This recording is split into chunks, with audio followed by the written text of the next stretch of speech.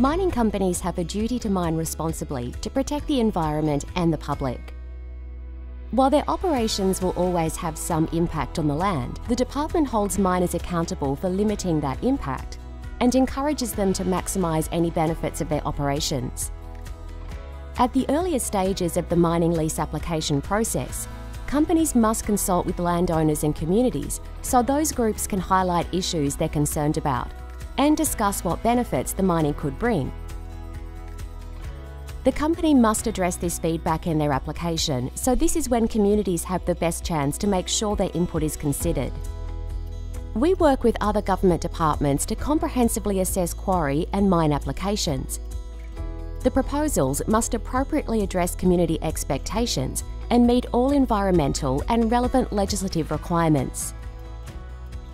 The mine's environmental impact assessment must show how any negative impacts can be avoided or managed, how the project will achieve environmental outcomes, and how the mine will be rehabilitated for productive land use in the future. Once we've accepted a mine application, we share it with government, environmental and safety experts for technical evaluation and publish it for public consultation. This is a formal opportunity for communities to provide their input. The company must respond to any community submissions and technical issues highlighted by government, then demonstrate that these issues will be addressed when they achieve appropriate outcomes. All proposals and related material will be published.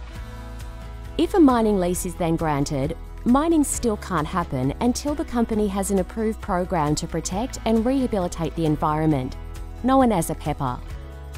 PEPRs are written in consultation with communities and other stakeholders. They must describe the company's measurement criteria for how they're limiting environmental impact and delivering on their lease conditions.